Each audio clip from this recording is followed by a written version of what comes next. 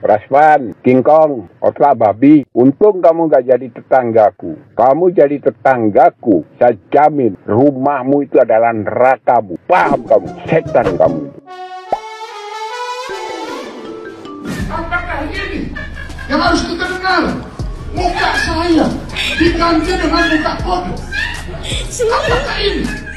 Dan ada lagi video kemaluan saya dijahit dan dipotong. Maka menjadi kewajiban hukum kita, terutama Bang Oto, senioran saya. Bang, saya terserah. Bung Rasman ya. Saya pun sama advokat Bung Rasman ya. Saya Depradi Anda mau melaporkan Hakim Eman Sulaiman ke KY itu hak Anda ya. Itu hak Anda ya yang jadi permasalahan saya. Nggak usah teriak-teriak mau laporkan laporkan saja. Ya lalu Anda mau melihat bergejolaknya se- se- sampai di mana masyarakat? Anda mah senang melihat masyarakat ribut ya. Melihat negara ini kacau anda senang. Kok terbalik anda ini? Orang-orang ingin damai kok anda ingin bergejolak. Legal standing anda pun tidak ada di kasus itu. Anda siapanya? Ya udahlah nggak usah cari-cari borok Halo buat Bang Rasman yang terhormat ya, pengacara yang terkenal ya. Saya sebagai teman Bapak ya, Bang Rasman. Kalau seandainya masalah ini Bapak tidak bisa mengatasi, saya siap menjadi pengganti Bapak ya sebagai pengacaranya ya. Bapak tenang aja ya. Walaupun semua netizen pada ngina Bapak, ngebully Bapak, jangan khawatir Pak. Nanti saya yang ngurusin masalah itu Pak. Saya siap membantu Bapak ya. Pokoknya siap aja lah. Ya iya siap. Pokoknya siap aja siap siap. Kalau diperhatikan semakin ke sini semakin ngawur ini Rahman Arif Nasution ini. Eh, saya melihat di salah satu TV swasta bahwa Rahmat Arif Nasution ini dia menyoal tentang tato Peggy Setiawan di mana Peggy Setiawan itu terinspirasi dari Wilfred Pahat, salah satu pemain sepak bola. Lalu dia membuka Google yang seolah-olah dia punya data bahwa Wilfred Pahat ini baru memiliki tato di 2023. Nah, kenapa ini penting menurut beliau? Ini penting dibuka karena seolah-olah apa namanya masyarakat menganggap bahwa Peggy ini adalah masyarakat yang terjolimi sehingga ada simpati atau dukungan yang mengalir kepada beliau sehingga mempengaruhi putusan majelis apa oh, putusan hak. Eh, Bang Rasman, Anda harus banyak makan garam. Masyarakat atau netizen Indonesia memberikan dukungan terhadap Peggy Setiawan bukan karena personality dari Peggy Setiawan, tetapi melihat banyaknya kejanggalan yang dalam konstruksi dakwaan dalam putusan juga tentang keterkaitan Peggy Setiawan.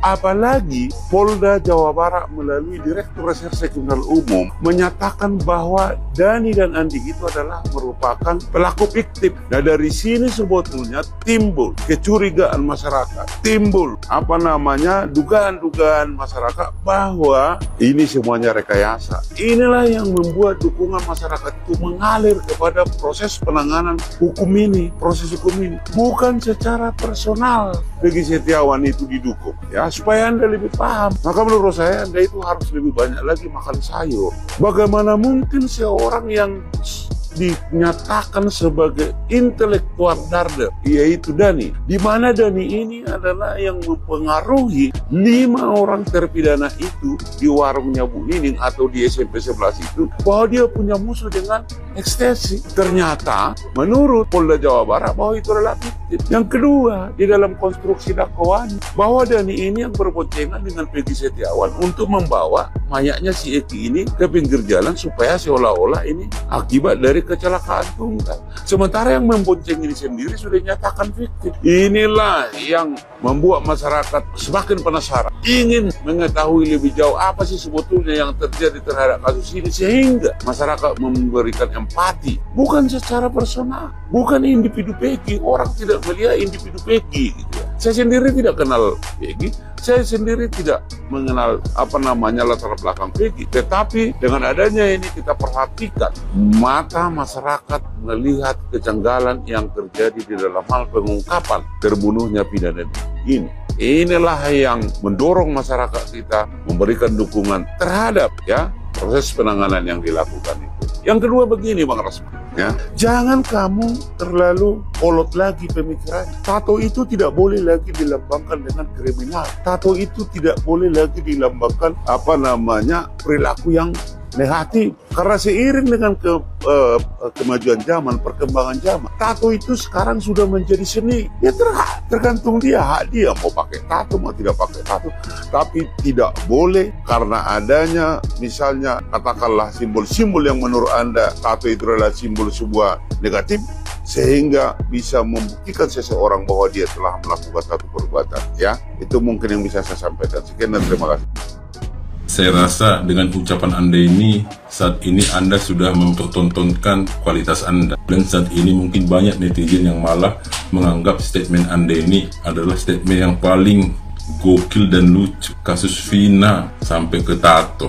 Hubungannya apa? Dan apa alasannya polisi menangkap si Peggy akibat si Peggy misalnya berbohong masalah tato?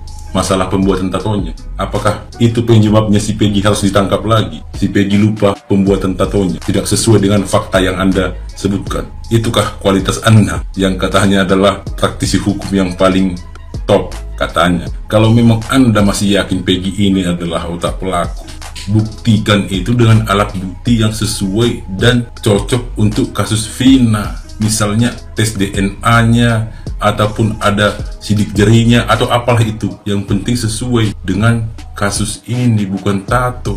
Tujuan anda ke sini kan untuk mendompleng supaya anda diakui sebagai praktisi hukum yang top. Tapi setidaknya pakai logika lah pakai akal sehat. Anda dengan enteng tadi mengatakan tangkap kembali si Peggy. Hanya masalah Peggy salah ataupun berbohong masalah pembuatan tato yang tidak sesuai dengan fakta Anda. Besok-besok Anda ungkit lagi masalah celana si Peggy. Tahun pembuatannya, buatan dari mana? Italia atau Indonesia kah?